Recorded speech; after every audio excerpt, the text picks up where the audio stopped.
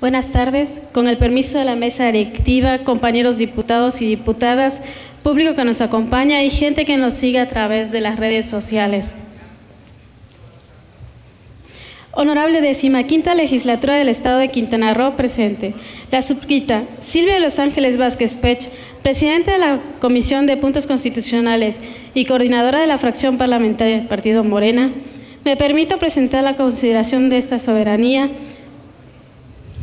Iniciativa de decreto porque se reforma la fracción cuadragésima cuarta del artículo 75 de la fracción décima séptima del artículo 40. Se adiciona la fracción novena del artículo 103 recorriéndose la subsecuente de la Constitución Política y se reforma el artículo 63 de la, de la Ley de la Fiscalía General, ambas del Estado de Quintana Roo, de conformidad con lo siguiente.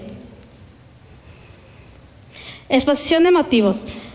Como es sabido, el 10 de febrero del 2014 se publicó en el Diario Oficial de la Federación el decreto de la reforma a la Constitución de los Estados Unidos Mexicanos, específicamente en los artículos 26 y 102, apartado A, con el fin de crear la Fiscalía General de la República, atendiendo a las demandas de la sociedad, de contar con un órgano autónomo e independiente del Poder Ejecutivo para mejorar la procuración de justicia y combatir la corrupción que tanto ha dañado nuestro país.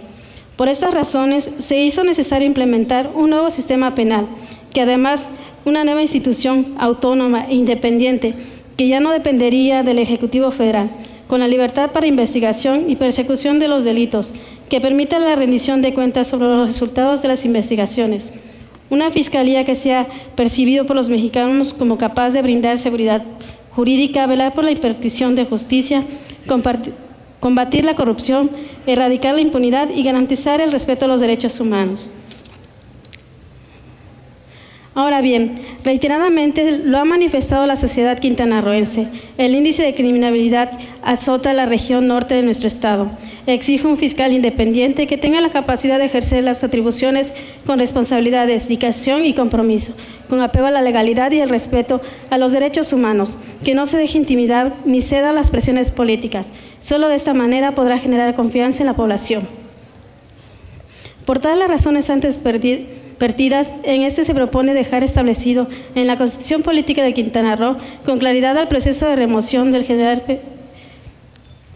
fiscal general, así como las partes de participación en él, ya que debe existir en nuestro Estado de Derecho los pesos y contrapesos entre legislativo, ejecutivo y judicial, para evitar la concentración del poder en un solo mismo, puesto que a la mejor manera de nuestro Estado transite hacia una verdadera democracia, transparencia, equidad y gobernabilidad. Es a través de la cooperación coordinada de los tres poderes. En tal virtud, se propone que la Fiscalía General sea removida por el Congreso del Estado en cuanto con la calificación de la causal de remoción que emita el Tribunal Superior de Justicia del Estado, a petición debidamente fundada y motivada del Ejecutivo Estatal. Con la anterior se establece adaptar un mecanismo de responsabilidad compartidas en el proceso de remoción. En este mismo orden de idea, todo ante la administración pública requiere tener limitantes a su actuación, no para caer en vicios comunes del cargo, por lo que es muy importante dejar estipulado con claridad cuáles son los limitantes atribuciones del fiscal general. Desafortunadamente no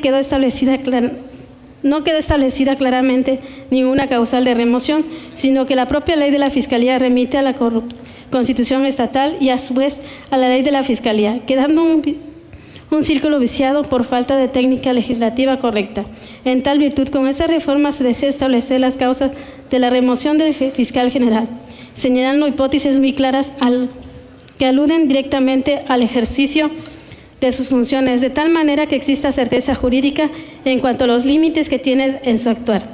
Derivado al anterior, me permito presentar la siguiente iniciativa.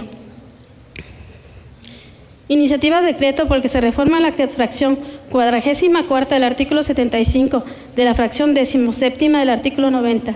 Se adiciona la fracción novena del artículo 103, recorriendo la subsecuente de la Constitución Política y se reforma el artículo 63 de la Ley de Fiscalía General, ambas del Estado de Quintana Roo.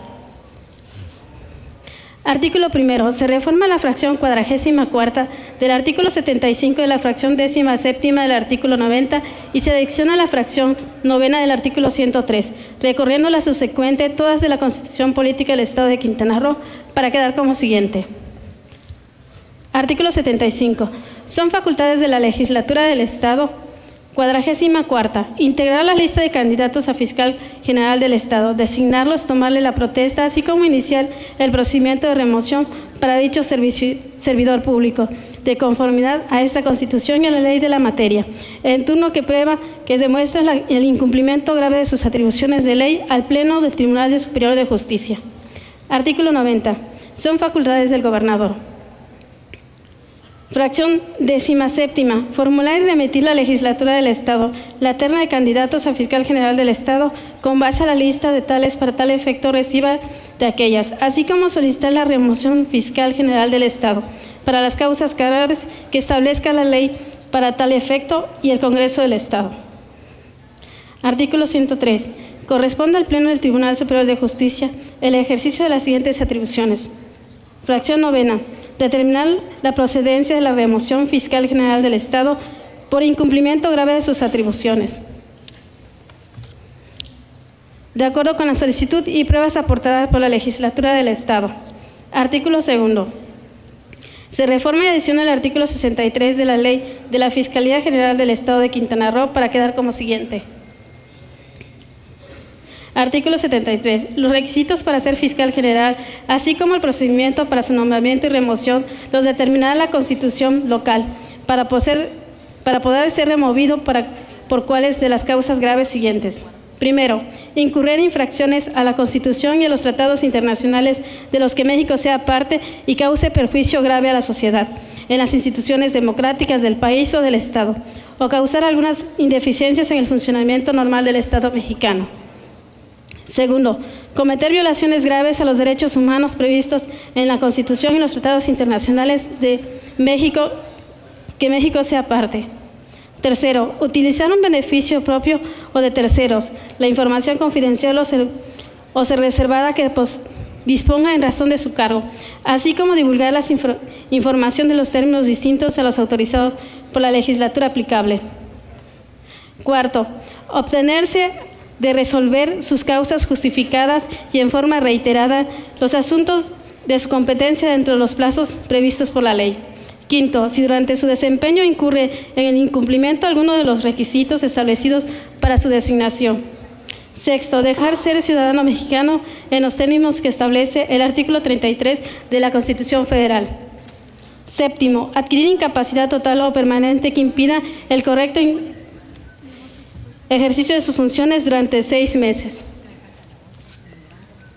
Lo establecido en las fracciones antes citadas se aplica sin prejuicio de lo previsto en el artículo 160, 161 y 163 de la Constitución Política de los Estados de Quintana Roo. Artículo transitorio. Artículo único.